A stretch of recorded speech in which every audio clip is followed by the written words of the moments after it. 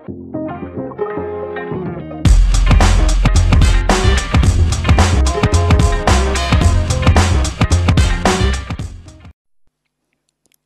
kembali lagi di soal nomor 15. Banyak sepeda motor yang diservis di Ler Cahaya Sakti Motor selama satu minggu selalu naik dari hari Senin sampai dengan hari Sabtu. Banyak sepeda motor yang diservis disajikan dalam tabel berikut.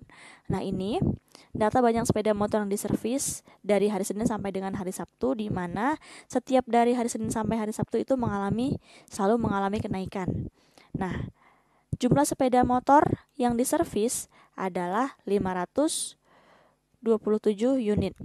Nah, yang ditanya adalah nilai X dan Y di mana nil, uh, di hari Rabu itu dijum, dikatakan jumlah motor itu sebanyak X dan di hari Kamis sebanyak Y. Nah, jadi yang ditanya adalah nilai X dan nilai Y-nya. Untuk menyelesaikan permasalahan ini, yang pertama kita harus menentukan dulu jumlah X tambah Y. Jadi ini harus kita jumlahkan dulu. Oke.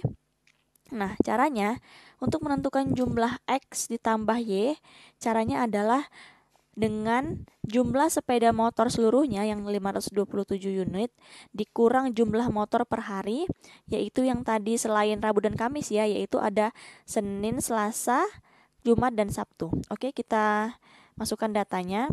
X tambah Y sama dengan jumlah sepeda motor tadi 527 dikurang jumlah motor per hari tadi Senin 82, Selasa 85, Jumat dan Sabtu 91 dan 95 sehingga hasilnya adalah 174. Nah, karena diketahui tadi bahwa setiap harinya selalu mengalami kenaikan. Jadi kita lihat di sini berarti otomatis di hari Rabu itu harus lebih besar dari 85 jumlah sepeda motornya. Nah, kita buat pertidaksamaannya. Berarti hari X itu atau hari Rabu harus lebih banyak jumlahnya dari hari Selasa, yaitu X harus lebih besar dari 85 jumlah motornya. Nah, kemudian Y yaitu hari yaitu kan hari Rabu, hari Kamis. Berarti otomatis Y ini harus lebih besar juga daripada hari Rabu yaitu X. Maka Y harus juga lebih besar daripada X. Sedangkan Y harus lebih kecil daripada Jumat daripada 91. Ya kan? Kita buat lagi. Y juga harus lebih kecil daripada 91. Jadi pertidaksamaannya adalah 85 lebih kecil daripada X lebih kecil Y dan lebih kecil 91. Dan syaratnya juga harus kita ketahui tadi X tambah Y sama dengan 174. Ini sebagai syarat untuk menentukan uh, nilai X dan nilai Y-nya. Nah, kemudian bilangan yang terletak di antara bilangan yang terletak di antara 85 dan 91 itu ada 86, 87, kemudian 88 dan 89 dan 90.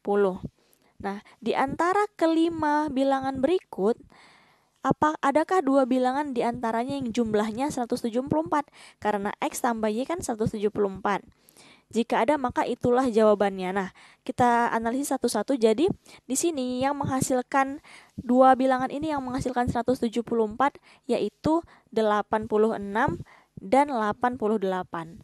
86 tambah 88 sama dengan 174. Sudah me sudah memenuhi syarat yang X tambah Y sama dengan 174. Nah, kemudian syarat yang lain adalah ini kita jadikan sebagai X, ini kita jadikan sebagai Y, di mana X harus lebih besar dari 85, benar. Kemudian dan Y harus lebih besar daripada hari si X yaitu 86 dan 88 merupakan lebih besar daripada 86 berarti X tadi kan harus lebih besar dari 85 sehingga X ini sama dengan 86 kemudian ada juga Y. Y harus lebih besar dari 86 sehingga Y sama dengan 88 sehingga dari pilihan jawabannya yang paling tepat itu adalah A dengan X 86.